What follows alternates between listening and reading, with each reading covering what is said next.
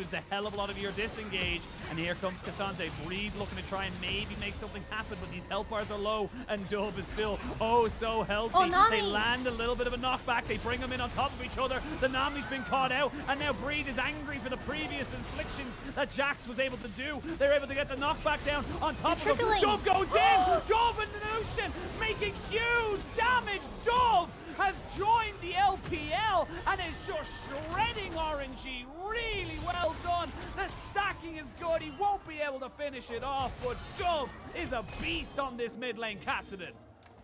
Casa win is what is we have for this game on IG. Very good patience coming out of Dub, where he was just stacking his ultimates when the rest